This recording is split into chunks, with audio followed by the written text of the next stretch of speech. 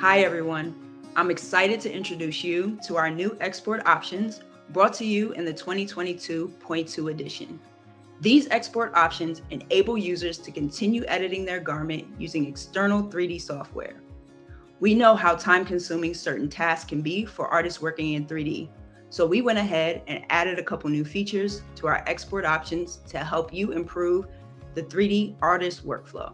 Let's start with the latest Quads export option. This option matches the garment's mesh with the industry standard. Whereas before, it was only possible to export the 3D object with triangle topology. Now you can export it with quads topology. VStitcher's simulation already provides geometry with a grid structure that can be previewed with the tension map. The quads export will have the same grid structure, which is very convenient for additional editing. Although the triangulated mesh is great for 3D fabric creation and accurate drape, when working in an external 3D modeling tool, it can be challenging to make any additional changes to this topology. You can find the Quads topology checkbox in the export pop-up window under the geometry section. The Quads output works best with enhanced layer blending turned on, which is the default garment mode. Another export option is weld stitches. It unifies the geometry in a similar way to the stitching tool in VStitcher. The edges of individual pattern pieces will be welded together, ensuring that the pattern pieces will not fall apart when creating animations using external software.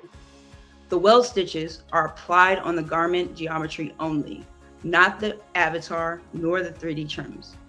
Note, the stitches between edges and internal lines or internal points will not be welded.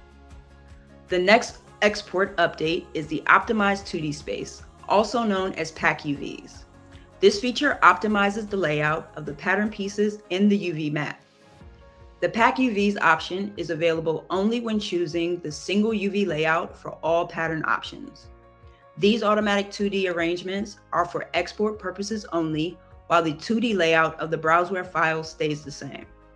By using this feature, we can obtain better image quality without increasing the texture resolution for our exported maps. For this demo, I'll use a 4K image. All the new export options are available for all 3D formats. Now let's export our garment as an FBX file and import it into Blender. When opening the file in Blender, we can see the image's texture that was exported with the PAX UV. As you can see, there's no excess space between the pattern pieces.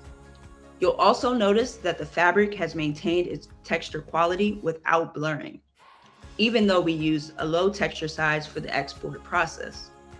Moving on to the 3D object, let's create an animation. You can see the welded stitches have held the pattern pieces together. Using the quads export, you can easily edit the garment.